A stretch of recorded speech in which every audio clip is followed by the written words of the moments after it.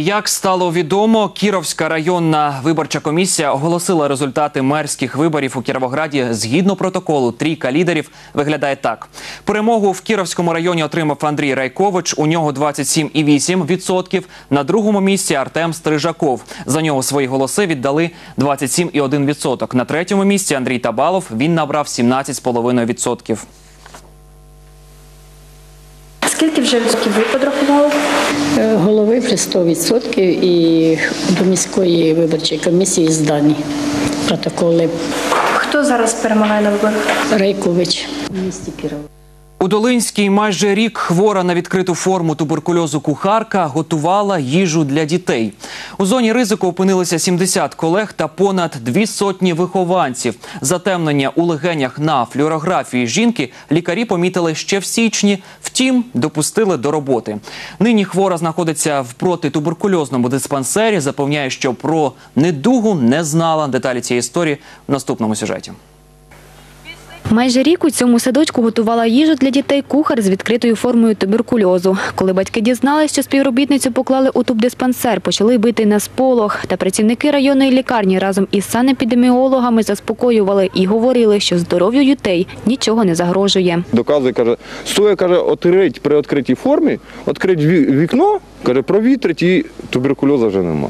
Ну це бред. Ну, ну. Чого ви колотитесь? В неї закрита форма. До сих пор ходять у больниці і розказують, що в неї закрита форма і вона не виділяє палички. У пані Ольги п'ятеро дітей. Двоє з них ходять у цей садочок. Жінка говорить, що в зоні ризику опинились не лише діти з дошкільного закладу. Получается, дети все контактные. Летом, на- э, в этот период, летом, в наш детский садик ходило три детских садика. Детки, детки из других садиков. Да? Э, Выпустились э, выпускные группы, которые пошли в школу.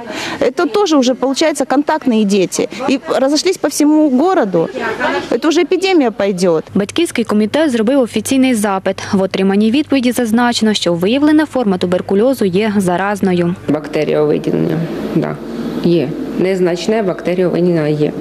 Рівень загрози не рівень радіації, його виміряти не можна.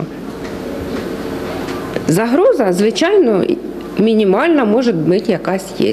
Тоді склали перелік контактних осіб. 28 людей опинились в зоні ризику. Співробітники, які щодня перебували в одному приміщенні з хворою жінкою, жодних недуг за колегою не помічали. Ні, ну поки що ну так часто, часто цього не скажемо.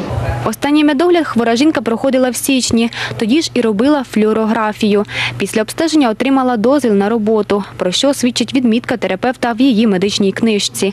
Лікар-рентгенолог каже, що тоді помітили недух легенів. Та через поганий флюорограф не змогли розпізнати сухоти. Підтвердився діагноз лише місяць тому, коли жінка зробила рентген грудної клітини. В частной беседе ей было сказано, что она может пройти, провериться, на что она ответила, что она болеет хроничным бронхитом, и у нее была пневмония в прошлом году, тоже могут давать такие изменения на снимке. Лікар-терапевт, який видав дозвіл на роботу, зараз звільнений з посади. За збігом обставин він сусід хворої жінки.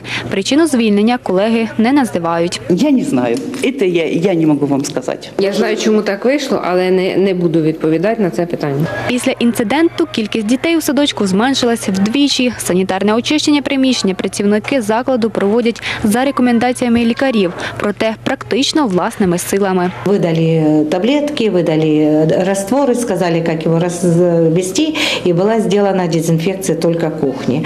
Вот на этой неделе, в понедельник, была сделана дезинфекция двух групп и общественного туалета. Батьки разом з дітьми зараз повторно проходять обстеження на виявлення туберкульозу, поки жодних інфікованих не виявили. Сподіваються, що винних покарають. Уже направили лист у прокуратуру. Марія Староста, Сергій Паранюк. День за днем.